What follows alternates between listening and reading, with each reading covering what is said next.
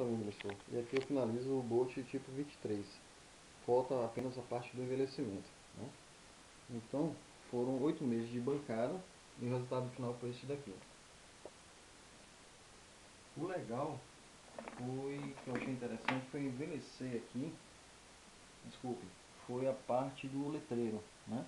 Eu achei que o baixo relevo não estava chamando atenção, então pintei de preto e depois passei o solvente tirando a tinta. A, parte dos espaçadores, né? Como você me deu a dica, está aqui pronto. E eu fiz um cabo aqui que eu acho que é o aterramento, não sei se é realmente essa função. Eu me baseei numa foto que eu estou te mandando em anexo aí por e-mail. E no final ele é conectado aí na torre. A parte do cabo de aço também, né? Feito por sprue, com a dica lá que você me deu para esticar.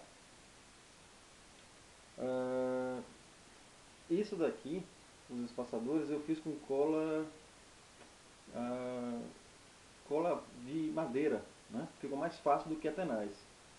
E por último, o torpedo, que eu achei que ficou fantástico, brilhando. Deu um, um banho de uma, uma cera chamada filtro, então ficou bastante destacado. Ó. Olha que legal. Observe que essa parte preta aí foi um trabalhão.